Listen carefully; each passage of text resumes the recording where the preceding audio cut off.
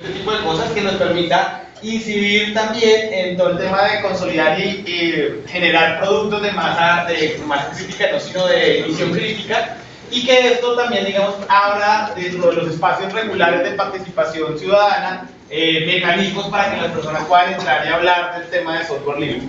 Esta, esta es la primera postura, la, eh, la primera línea de trabajo. La siguiente línea es todo el tema de fomento y difusión que la línea de fomento y difusión habla de cómo hacer que las personas pues, que las personas se enteren de qué es el software libre, que se enteren de cómo de, las ventajas que tiene todo el tema de software libre, de cómo llegar a los territorios a ciertas a ciertas áreas que no solamente sea una élite, una élite porque realmente puede ser simplemente una élite de, de gente geek como uno que conoce que conoce el ejercicio y que está llegando. Cómo llegar a través de esto a los demás territorios.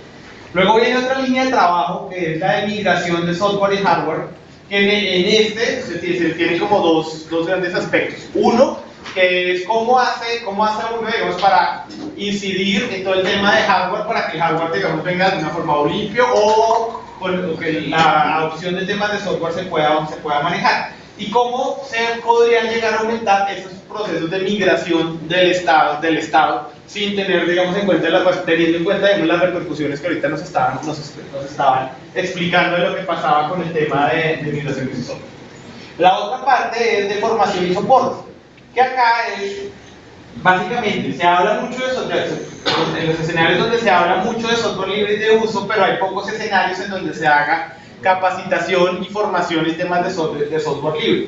Igualmente, eh, no hay, digamos, procesos de acompañamiento para que las personas que están en esta línea de migración, eh, o no hay acompañamiento visible, porque seguramente sí las hay, no hay formas visibles que visibilicen esas líneas de soporte para que eh, tanto el que se está formando como el que se está migrando tenga un acompañamiento y, una, y digamos, una fácil, se le facilite la vida en estos procesos. Y por último, que es un tema de construcción y consolidación de la oferta de software libre. ¿Y eso qué implica?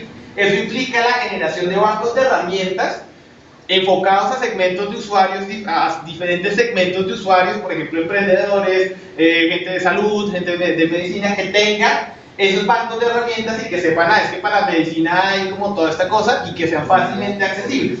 Igualmente, la construcción de herramientas de visión crítica que puedan ir hacia, hacia organismos, del, pues, organismos del Estado o empresas como tal que adopten herramientas de software libre porque son herramientas que le aportan le aportan directamente a su misión crítica y digamos van en línea con este tipo de políticas. ¿Están primero de acuerdo con los resúmenes que he ido haciendo? Sí, pues categorías sí. Sí, resúmenes sí. Yo sé que esto puede ser un resumen mucho más largo, pero pues, eh, es como la, la super síntesis de esto. Entonces, votaciones porque debería estar primero postura política y estrategia. Levanten la mano, por favor.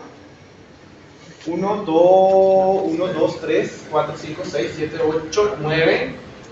10, 11, 12, 13, 14. Listo. Formación, fomento y difusión. Levanten la mano. Ese fomento y educación.